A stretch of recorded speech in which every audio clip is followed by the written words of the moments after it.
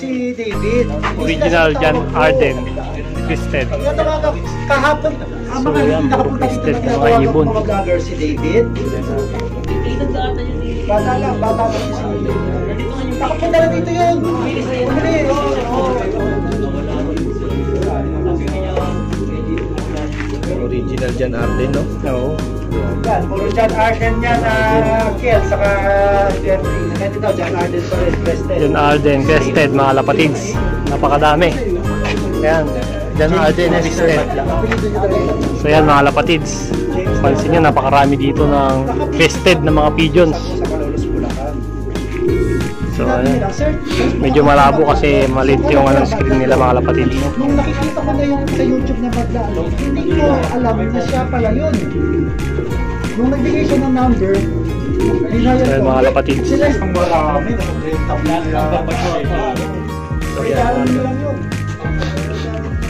mga lapatids. Sino ba yung brothers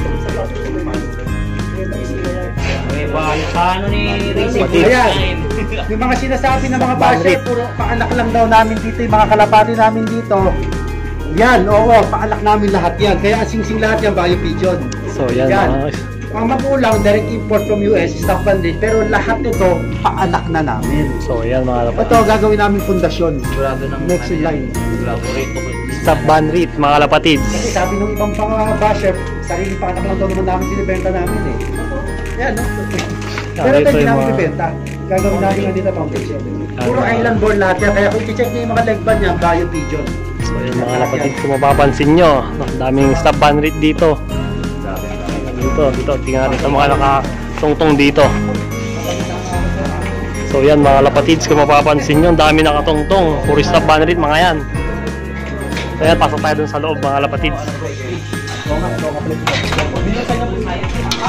Kaya pala kulang dalawa. Yun, ah, baka nasa akin po. Sana, oh. Waterhouse Beckard mga kalapatids. Ito naman yung mga Waterhouse Beckard. Pwede ka pumasok ka kung gusto mo. yan, pasok tayo. Silipin natin. Yung mga waterhouse. Wait. Okay natin nga. May bag pang dala.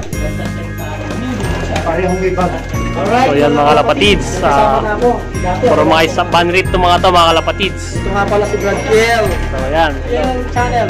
Kiel TV. Kiel TV mga kalapatids. Kagaya ng aking na-vlog nung nakaraan, mga kalapatids. Yan si Kalapatids. Ah, Yan, na TV. Kalapatids. Sa dagat. Hindi sila natatakot. Bekart. Waterhouse. Waterhouse Beckard, mga yan, mga Kalapatids. Napakaganda ng mga kulay. Karamihan is Nakita nyo, no? Beautiful yan, mga. May mga white na- Beautiful. white na halo, in mga terms Kalapatids. of race, deadly ang mga yan, mga kalapatids. Beautiful but deadly. Waterhouse, Waterhouse Beckard. Sana magkaroon din. Lahat ito, yes. Sana all magkaroon ng Waterhouse Beckard, mga Kalapatids. Hindi. Yan, labas na tayo. Medyo, Ah, si ano, Lady Fancier, mga Kalapatids. 25 to 30K pa. Tsaka ano na yung vlog nyo, bro? Ano po? Jeff Pilop TV. Ayun, Jeff Pilop TV, mga Kalapatids. So yan. So tingnan naman tayo ng mga ibang line, mga Kalapatids. Kaya bumabagsak ang presyo. Dito galing yun. Saka, yung mga kalapati namin sa harap, even araw-araw nahawakan, stress, kaya gano'n ang mga itsura. Dito galing, tingnan mo, ang layo ng mga itsura ng mga dito sa harap. Ito yung mga Marami na naman kami. dito yung mga ibon nilang hindi mga stress, mga Kalapatids. Dito yung mga magagandang Ito, usually Austin Van Banril, mga Kalapatids. Yan, ito mga to, lahat ito mga to. Ah, mga hindi stress ang mga ibon dito di kumpara dun sa harap mga kalapatids kasi birak dito mahawakan.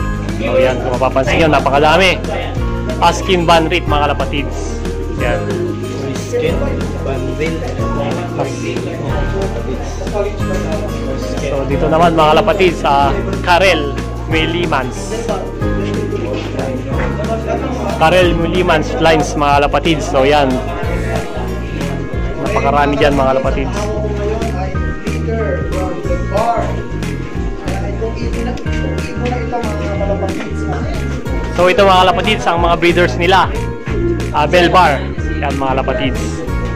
Mga Belbar lines nila dito. So yan mga kalapatids. Breeders nila and Edmond Toyner. Edmond Toyner mga kalapatids. Na mga foundation nila dito ng mga ibon dito sa bioresearch. And Ghost Hafken. Ghost Hafken ng mga proven bre- breeders dito sa uh, Biopigeons, mga lapatids. Gurneys. Yan, may Gurneys din sila dito mga lapatids. Gurneys, ah, bloodlines, mga ah, mga proven breeders nila dito mga lapatids. Howbens. Howbens, mga Howbens na mga lines, mga lapatids. Yan, marami dito, iba't ibang klaseng mga lines, mga lapatids. Kung mapapansin yun, napakarami. So, ayan. Yan.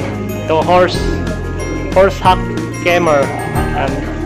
Horse hack camera. Yan, ang banggitin mga lapatids. Sa mga first time ko lang narinig na mga lines, mga lapatids. Ito, ah, Julian Jansen. Yan, Julian Jansen, mga yan, mga lapatids. And Morris Gordon, yan. Yan, kilala natin yung bloodline na yan, Morris Gordon. And Mayan Wigis. So yan, first time lang natin nakarinig ng ganyan. Bilang newbie pa tayo sa pag-aalaga ng kalapati, mga lapatids. First time pa lang natin maka encounter ng Mayan Wigis. And Roger, naman Roger Mor Morbit. Yan, mga Roger Morbit naman, mga lapatids. Yan, napakaganda nung cock. Pearl eyes. Ayan mga kalapatids. There's sila dito.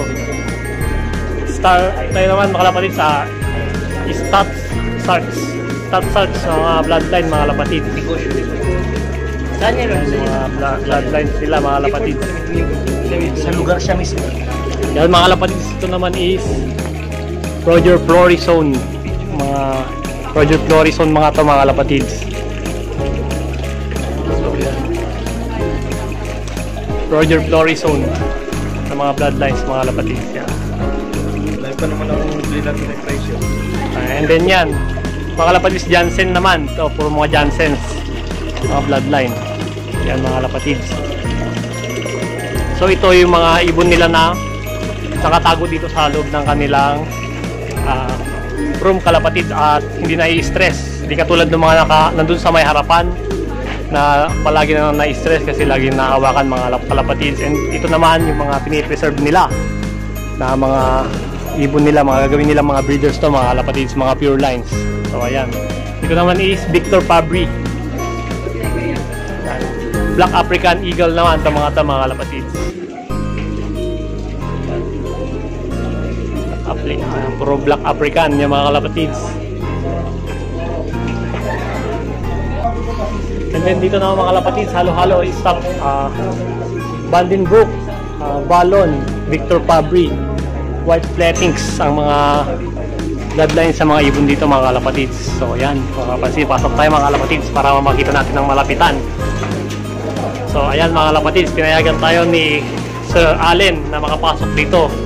Bibihira lang mga nakapasok dito mga kalapatids kaya malaking ah, napakalaki ng pasasalamat natin kay kalapatids Allen, Sir Allen na pinapasok niya tayo dito sa mga pinipreserve nila mga breeders dito sa Biopigeons mga kalapatids. So ayan, liparan sila mga kalapatids. Ayan, ayan. Napakarami mga kalapatids. So ayan. Linyada. Magandang pang-infuse sa staff bandit.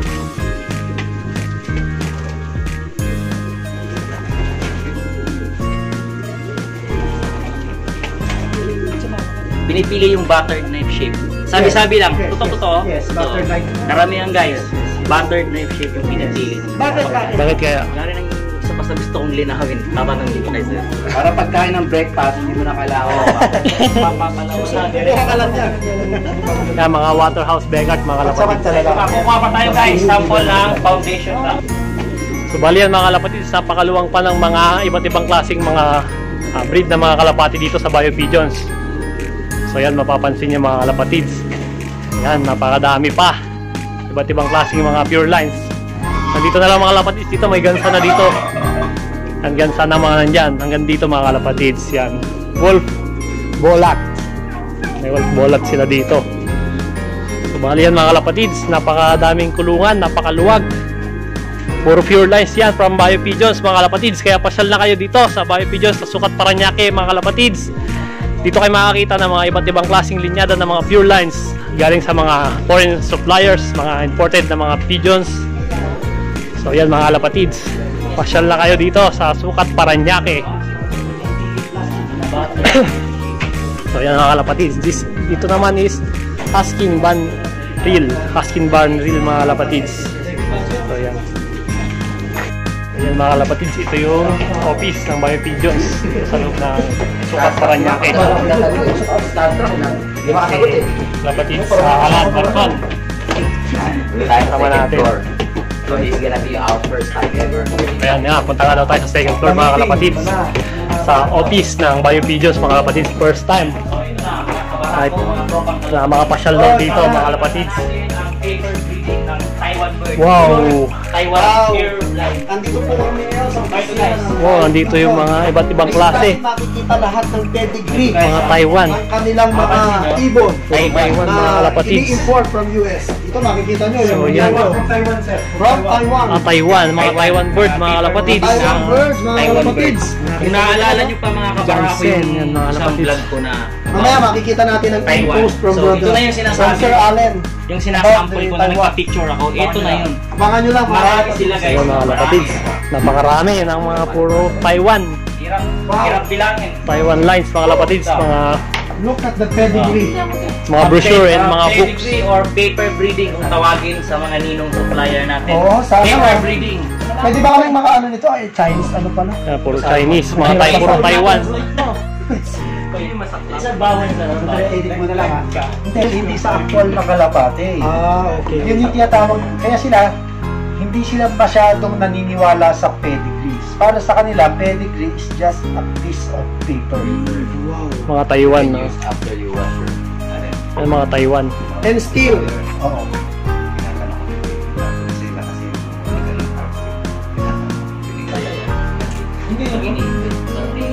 Wow, ano yan? So yan mga kalapatids, nagbigay pa ang Bio Pigeons ng t-shirt. So ayan mga kalapatids. Madali. Dapat large. Lahat yan, XL na yan. Excel na lahat. Napaka-generous na mga dito sa Bio Pigeons mga kalapatids. Yun! Salamat sa Diyos! Jeffrey, sa'yo na yan. Yan. Napaka-generous ng uh, Bio Pigeons mga kalapatids. Binigyan tayo ng free na t-shirt ng Bio Pigeons. So yan, tingnan natin. Suot na natin. Ulit, bigyan na ulit. Ayan mga kalapatids, binigyan tayo ng damit ng ating foreign suppliers dito sa Bio Pigeons. Ito natin. Chibugan na tayo. Ang vlog Thank you Bio Pigeons sa damit. Ayan mga kalapatids, nabigyan tayo. Fire pigeon. And lahat kayo dito mga vloggers, nabigyan kaming lahat. Ayan mga kalapatids. At papasalamat kami sa mga foreign ah, suppliers, mga kalapatids. Ayan, ang nirequest na bigyan tayo kay Sir Allen. Paano na tayo pasalamat ito? Ayan, nandito kami ngayon sa office na Outside. Kasabi niya sa ipaparapol. dito kami sa office ngayon ng Bio Pigeons. Yan, puro Taiwan. Mga pedigree mga nandito. Hindi namin maintindihan, puro ano, Taiwan. So yan. Guys, guys, guys. Salamat Fire pigeon. Ay, English natin yan, eh. ita-translate, ita-translate ko lang sa baba, maglalagay tayo ng ano dyan. Translator. Hashtag nito. Ayan, mga kalapatids. Ito, lahat kami Kasama natin. yan. Ayan, kasama natin lahat ng mga uh, vlogger tayo ngayon sa Bio Videos, mga kalapatids.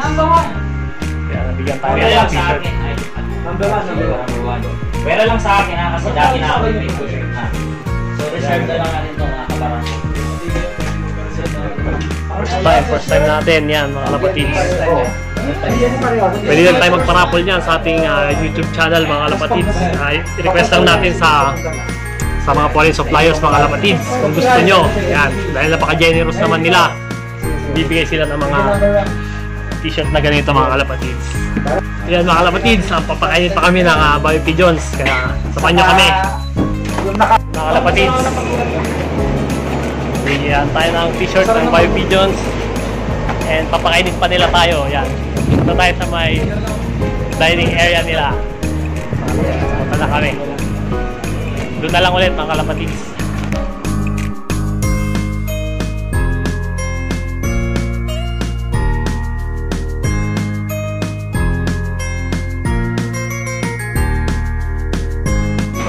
So yun mga kalapatids, dito na kami sa may Yan, sponsor ng ating sa uh, lugar ng ating pagkakainan mga kapatid. So yan yung ay handang pagkain sa atin ng Bayou Pigeons. Uh, pinasal lang tayo sa Bayou Pigeons mga kapatid and papakainin pa tayo. Napakabait talaga mga foreign suppliers. Sa mga foreign suppliers, maraming maraming salamat sa inyo. Bro, salamat sa Diyos.